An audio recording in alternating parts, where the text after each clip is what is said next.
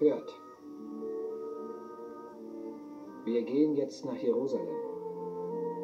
Dort wird sich erfüllen, was bei den Propheten über den Menschensohn steht.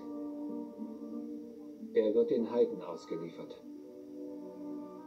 Sie werden ihn verspotten und ihn misshandeln und bespucken. Und man wird ihn geißeln und töten. Aber am dritten Tag wird er auferstehen.